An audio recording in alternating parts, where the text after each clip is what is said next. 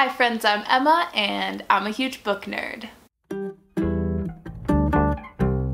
I know this video is already pretty late, but I wanted to get one up nonetheless. It is my April TBR video. Um, I'm trying to be a little more lax on myself in April because March I just really barely read anything at all. But it's okay because I was doing other, you know, life stuff. So let's just jump into the books that I am hoping to read in April, but like no pressure on myself, right? So first for Buzzwordathon, the buzzword for April is anything space related. And I really struggled with this because I, at the beginning of the year, had planned to read Apollo 13 for this, but um, I read that uh, as part of my like um, reading books that I hauled in old videos thing. So I didn't have that as an option anymore and I literally don't have any other space related books on my shelf. So I chose Soft Science by Franny Choi um, because of the word science in here. It's like vaguely, like extremely vaguely space related in that science and space exploration are very connected. So uh, this is a poetry collection by Franny Choi. Um, I've already read part of this actually. I've sort of been slowly dipping into this whenever I feel like reading poetry, but I've been in a big poetry mood lately, so I feel like I could easily sit down and, and finish this throughout this month. So yes, that is the first book. Uh, then my play that I want to read this month, it's the same one from last month because I didn't read it, Carrying Over Tribes by Nina Raine.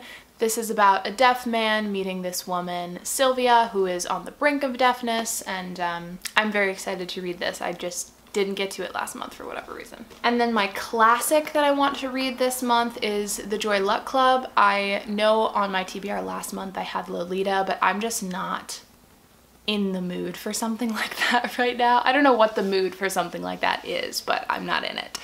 Um, so Joy Luck Club by Amy Tan instead. I really, I've been wanting to read this for so long and I don't know why I haven't yet.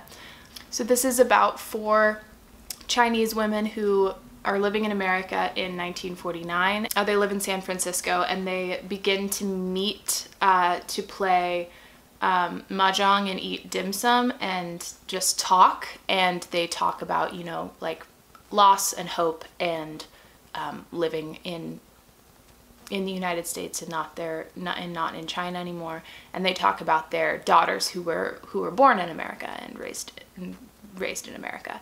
Um, so yeah, I've only, I've heard amazing things about this, so I'm really curious to read it. And then this is another carryover from last month because I do really want to read this. It's Violent Ends by a whole bunch of authors. This is the next book from my uh, reading books that I hauled a long time ago series. I just didn't get around to it. I didn't feel like vlogging last month. So hopefully I will find a time when I feel like vlogging this month and I can read this because I think that it would be an interesting thing to vlog about, hopefully. And then I have already started reading this one. I'm a little less than halfway through. It is People Like Her by Ellery Lloyd. Um, this was a Book of the Month Club pick a couple months ago and it's a it's a thriller about a an insta mom. There's like someone stalking her basically who doesn't think that she deserves the the the life that she has because she's because of her Instagram fame. Yeah, it's just it's just a thriller. It's not that deep.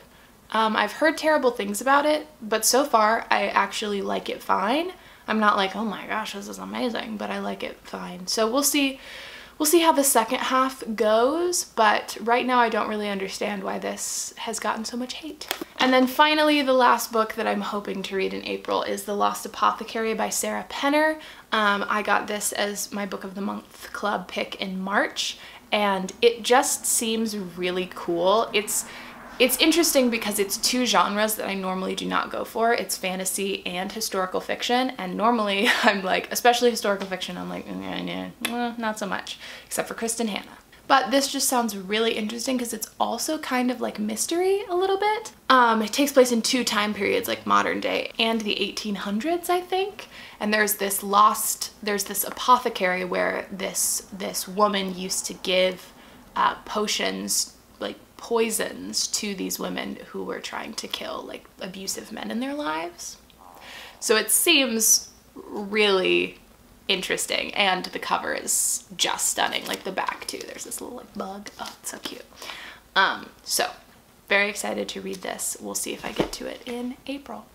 And those are all of the books that i'm going to make an attempt to read this month.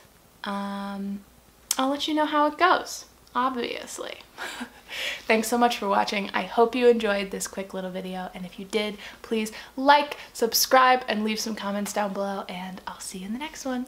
Bye! Mwah.